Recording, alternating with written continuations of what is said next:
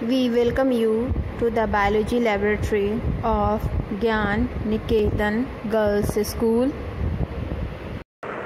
Our topic is study of xerophytic plants and animals, study of aquatic plants and animals. This experiment is presented by Mrs. Kiran Bala and assisted by Mona Hassan. See that? The cactus they have the spiny leaves. Hmm, the leaves are transformed into the spine to reduce the transpiration because these plants they are seen in the deserts. So to store the water is the main criteria for this plant right? So for storing the water in this plant the plant stem is succulent. Means they get swells up they get swell and they forms this type of shape to form it the succulent shape. Okay? See that the cactus they have the spiny leaves. Hmm, the leaves are transformed into the spine to reduce the transpiration because these plants they are seen in the deserts.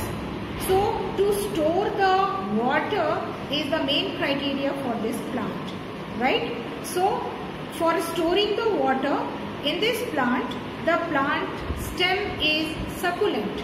Means they get swells up. They get swell and they forms this type of shape to form it the succulent shape. Okay?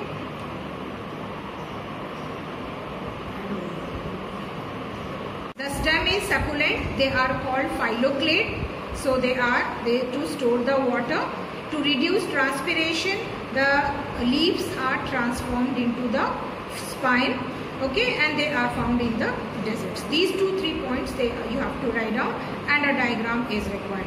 Five points and a diagram is required okay. Next is the chameleon. If, if you have the um, lab manual this lab manual we are using. Okay this lab manual is okay of Arya publication class 12 this lab manual we are using it. So for chameleon right? Chameleon is the desert animals. They are seen in the mountain. They have protrusible tongue with the dry scales and they have the digitalized limbs by 3 by 2 three limbs three digits in one part and two digits in next part so this type of 3 by 2 digits in the limbs are uh, make them to uh, catch up or hold up very nicely the stems and the branches okay so these uh, animals they have the camouflage property what is camouflage property camouflage means they can change their skin ये है तो गिरगिट है ना गिरगिट से थोड़ा बड़ा होता है माउंटेन रीजन में पाए जाते हैं So they can change their skin. If they are in the brown uh, areas of this rock, they change their color into the rock. If they are uh, in the leaves, they can change their color to the green. So green, red and color, they can change their body uh, skin color. So they have the camouflage properties. Okay, and a long tail. Now the aquatic plants. the aquatic plants we will see the water hyacinth hmm? water hyacinth jalkumbi ठीक है water hyacinth if you see you see that they have a bulbous petiole the petiole is bulbous they have the flower and with the help of the bulbous petiole it floats on the water because this bulbous petiole they provide them the uh, buoyancy to float in the on the water. Okay? So these water hyacinths they are the aquatic plants and they floats on the water. Right? So this is the about the aquatic plants Eichhornia that is called water hyacinth. So one example we are taking water hyacinth.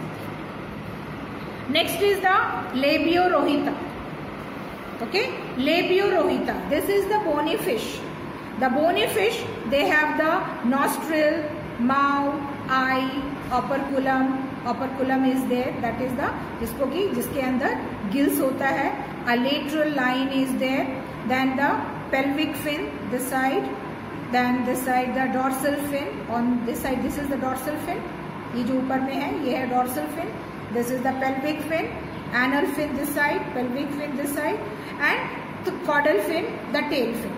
Hmm? the tail fin is utilized to turn their body. Okay? The body is streamlined. The body is supported with the scales and they have the slimy layer. This slimy layer they helps the fish to keep uh, in water without degenerating their skin. So the slimy layer or slime layer it protects the fish in water. Okay? So these are the few points which uh, you are going to write down in your textbook. Don't write down more than five points in this book. Cactus. Leaves are modified into spines so as to reduce the surface area. Stem is succulent which can retain water. Stem has sufficient mechanical tissue to withstand drought conditions. This is the diagrammatic representation of cactus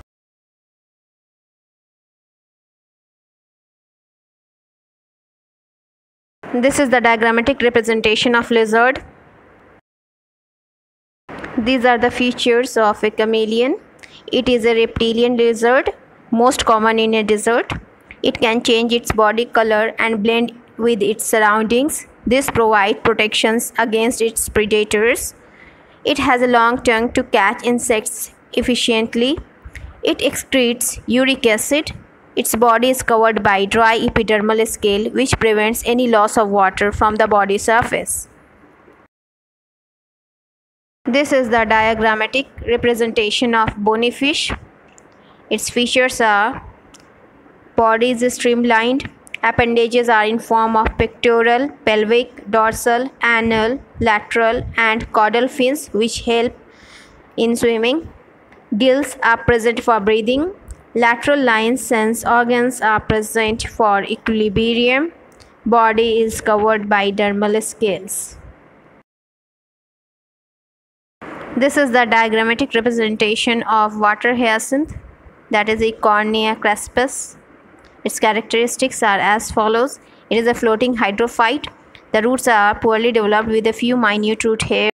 Root pocket is present in place of root cap Petiole is modified into bulbous structure which can store air and help in floating and exchange of gases. Thank you for watching this video.